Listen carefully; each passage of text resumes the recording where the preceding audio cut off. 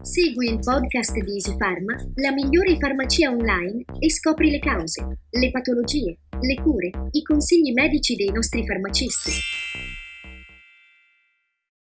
Buongiorno a tutti e ben ritrovati, sono sempre io, la dottoressa Giulia della Farmacia Longo di Roma e oggi vi parlerò dei fermenti lattici, per cui rimanete con me. Allora, che cosa sono i fermenti lattici?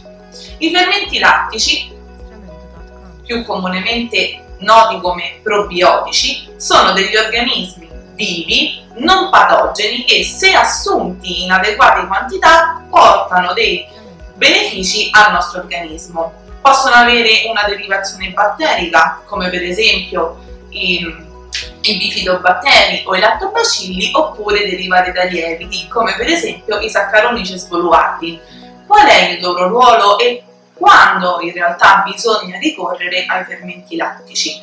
Prima di ogni altra cosa il fermento lattico viene sempre suggerito dal medico di base e anche dal farmacista in concomitanza di una terapia antibiotica, in quanto possono fornire un utile scudo affinché l'antibiotico non aggredisca la nostra flora saprofita, ricordandosi però di assumere il probiotico ad una distanza di almeno un paio d'ore dal farmaco, in quanto l'antibiotico, un po' come Pac-Man, andrebbe dunque a mangiare il fermento lattico appena assunto ma sono anche importanti nelle infezioni che interessano il tratto urogenitale, in particolar modo la cistite, che è un'infezione ricorrente specialmente nelle donne e nel periodo estivo. In questo caso i lattobacilli acidophilus, che sono anche fondamentali per la digestione di questo zucchero che è il lattosio, svolgono un'utile difesa in caso appunto di questa condizione patologica.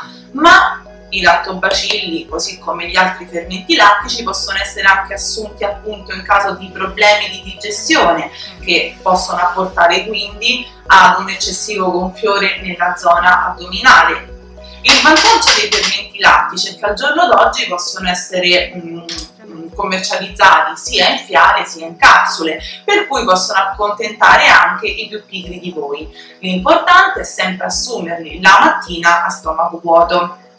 Per altri consigli mi raccomando continuate a consultare il sito www.easypharma.it e soprattutto se avete qualche domanda o qualche dubbio potete sempre scriverci nel link in bio tra i commenti.